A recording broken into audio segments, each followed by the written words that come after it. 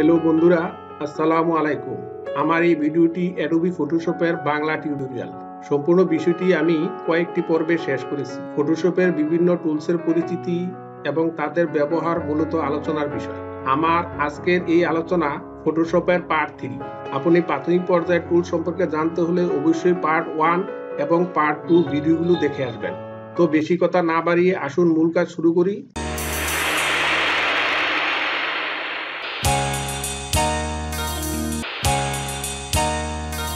এখনকার যে কাজটি, সেই হলো প্যান টুলস এর কাজ। আমি প্যান টুলসে ক্লিক করলাম। ক্লিক করার পর উপরেই দেখুন পাঁচটি অপশন দেখা যাচ্ছে। উপরের যে কাজটি, সেটি হলো মূলত প্যান টুলস তারপরে নিচেও আরও আছে। আমি উপরের যে প্যান টুলস সেটার ব্যবহার দেখাচ্ছি। এখন এই প্যান টুলস এর মাধ্যমে আমরা সাধারণত ছবিকে সিলেক্ট করতে পারি। মনে করুন, আমি এই প্যান টুলসে ক্লিক করলাম। এখন ছবিটি চতুর্দিকে আমি সিলেক্ট করব। একটু ঘন ঘন করে সিলেক্ট করবেন। এত করে। এখন দেখুন বন্ধুরা, এখানে একটু শেডুর মতো দেখা যাচ্ছে। তার মানে বাম দিকে দেখুন ওপাসিটি সেই ওপাসিটিকে আমি একবারে জিরো করে দিতে হবে। এইভাবে আপনি সিলেক্ট করবেন।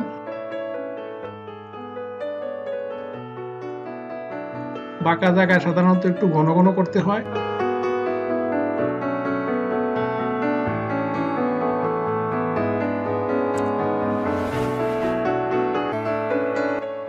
আমি এখন ছবিটার ব্যাকগ্রাউন্ডটাকে সিলেক্ট করতে চাই, তার জন্য আমি ছবিটা বাদ দিয়ে ব্যাকগ্রাউন্ডকে সিলেক্ট করলাম। এমনকি যেখান থেকে শুরু করলাম, সেখানে আবার সংযুক্ত করে দিলাম। সিলেক্ট অংশের মাঝখানে আমি মাউসের পয়েন্টার রেখে রাইট বাটন ক্লিক করলাম। যে একটি অপশন দেখা যাচ্ছে, এখানে দেখুন মেক সিলেকশন আমি মেক সিলেকশনে ক্লিক করলাম। মেক সিলেকশনে ক্লিক করার পর এখন দেখুন আমার এখানে মূলত ওয়ানই থাকবে ক্লিক করুন ক্লিক করার পর এখন দেখুন বন্ধুরা, আমার ব্যাকগ্রাউন্ড সিলেক্ট হয়ে গেছে।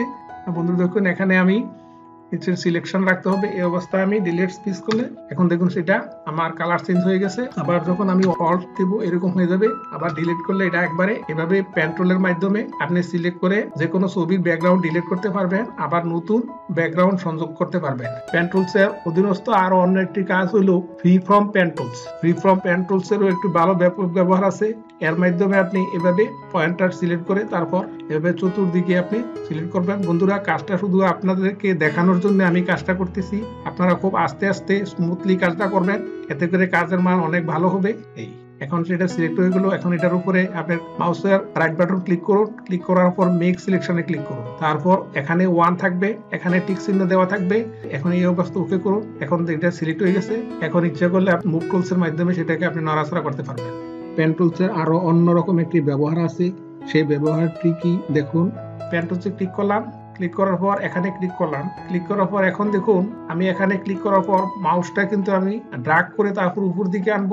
আনার পর এবার দেখুন বন্ধুরা, ঘুরিয়ে ঘুরিয়ে আপনি দেখবেন কীভাবে ঘুরাইলে আপনার ক্লিক করার নিচের অংশে ছবির পার্শ্ব বিন্দুর সাথে এটা লেগে যাবে। এই অবস্থায় যখন দেখবেন যে নিচের অংশ আমার পার্শ্ব বরাবর হুবু মিলে গেছে, তখন কিবোর্ডের অল বাটনে চাপ দিয়ে এই মাঝখানে ক্লিক করবেন। ক্লিক করার পর উপরের অংশ কেটে যাবে। এখন আপনি আবার এখানে ক্লিক করবেন। ক্লিক করার পর তারপর আপনি আবার ঘুরিয়ে ঘুরিয়ে দেখবেন কি অবস্থা আছে। এভাবে ঘুরাইলে আপনি বুঝতে পারবেন যে এটা হুবহু মিলে গেছে কিনা। যদি দেখেন যে হুবহু মিলে গেছে, তখন সেটাকে আপনি ছেড়ে দিবেন। তারপর আবার কিবোর্ডের অল বাটনে চাপ দিয়ে এখানে মাঝখানে ক্লিক করবেন। এতে করে আপনার সামনের যে অংশগুলো, সেই অংশটা চলে যাবে।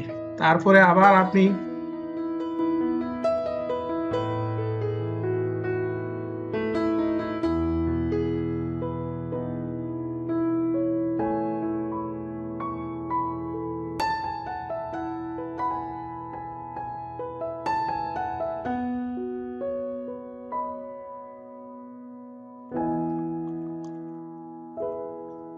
এই পেন টুলস এর মাধ্যমে অন্যান্য টুলস এর তুলনায় এই কাজটা অনেক নিখুঁতভাবে করা যায়। বন্ধুরা, আপনি যদি খুব খেয়াল করে দেখেন, অবশ্যই আপনি অনুভব করতে পারছেন যে অন্যান্য সিলেকশনের তুলনায় এই সিলেকশনের কাজটি খুব নিখুঁতভাবে হয়েছে। এখন আমি প্রথমে যেখান থেকে শুরু করছি, ঠিক সেখানে নিয়ে শেষ করব।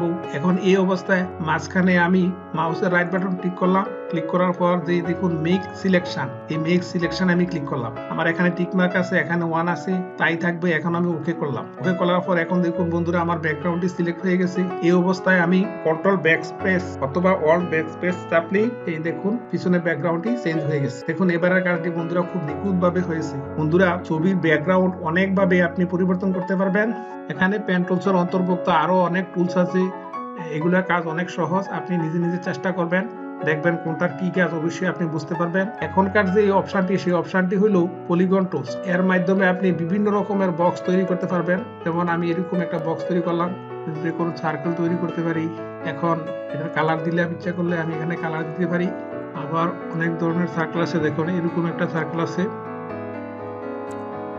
আমরা সাধারণত ছবি তৈরি করবার সময় যখন বিভিন্ন কাজ করি বা পোস্টারের কাজ করি, তখন এরকম বক্স বৃত্ত, ত্রিভুজ, চতুর্ভুজ ইত্যাদি অঙ্কন করতে হয়। এরপরে যে নিচের যে অপশানটি সেই অপশানটি হলো আই ড্রপার টুলস অর্থাৎ আই ড্রপার টুলসের মাধ্যমে ছবির ভিতরে যে কালার আছে, সেই কালার অনুসারে আমি ব্যাকগ্রাউন্ডের সিলেকশন করতে পারব। যখন এখানে আমি ক্লিক করলাম, দেখুন আমার ব্যাকগ্রাউন্ডটি এই কালার হয়ে গেছে। আবার যখন আমি এখানে ক্লিক করলাম, দেখুন আবার যখন আমি ফেসের মধ্যে ক্লিক করলাম, দেখুন ফেসের আকৃতি হয়ে গেছে। অর্থাৎ ছবির পছন্দনীয় ব্যাকগ্রাউন্ড আমি এখান থেকে সিলেক্ট করে ব্যাকগ্রাউন্ড অপশনের মধ্যে তৈরি করে রাখতে পারি। যেমন এখানে আমার ব্যাকগ্রাউন্ডটি আছে ঘাড়ো নীল কালার এখন আমি ক্লিক করলাম, এটা ঘাড়ো নীল কালার হয়ে গেল। আবার যখন ফেসের বরাবর ক্লিক করলাম, এখন দেখুন এটা ফেসের কালার হয়ে গেছে। আবার দেখুন তার জামার কালারটা লাল, আমি যদি এখানে ক্লিক করি, দেখুন এটা লাল হয়ে গেছে। এরপরের যে নিচের অপশনটি সেটি হলো হ্যান্ড টুলস হ্যান্ড টুলস এর মাধ্যমে আমরা সাধারণত ছবিকে জুম করার পর তাকে নাড়াচাড়া করতে পারি, যখন যেমন দেখুন, আমি হ্যান্ড টুলসে ক্লিক করলাম। ক্লিক করার পর এবার দেখুন, আমি ছবিটিকে আবার নিজের মতো করে সেটাকে উপরে নিচে করতে পারি। অর্থাৎ জুম করে তার ভিতরে নিখুঁতভাবে কাজ করার জন্য সাধারণত হ্যান্ড টুলসটি ব্যবহৃত হয়। তারপরে পাশের যে অপশনটি সেই অপশনটি হলো জুম টুলস জুমে ক্লিক করে আমরা যে কোনো ছবিকে বড় করতে পারি। এবার দেখুন যে আমার ছবিটি আস্তে আস্তে বড় হচ্ছে। এই হলো জুম টুলসের কাজ। বন্ধুরা অ্যাডোবি ফটোশপ সফটওয়্যার মানি যে কোনো ছবির এডিটিং এর কাজ। অর্থাৎ ছবি নিয়ে আপনি ঘষা মাজা করে ছবিটাকে খুব স্মুথ করবেন, অর্থাৎ মানসম্মত করবেন, এটা হলো অ্যাডোবি ফটোশপ সফটওয়্যারের কাজ। বন্ধুরা, আশা করি দীর্ঘক্ষণ ধরে মনোযোগের সহিত ভিডিওটি দেখেছেন। আপনার কল্যাণ, আমার ভিডিও প্রকাশের সার্থকতা। ধন্যবাদ।